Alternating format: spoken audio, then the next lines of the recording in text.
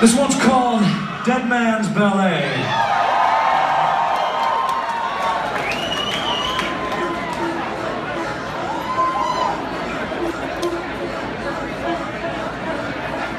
Oh, oh, such a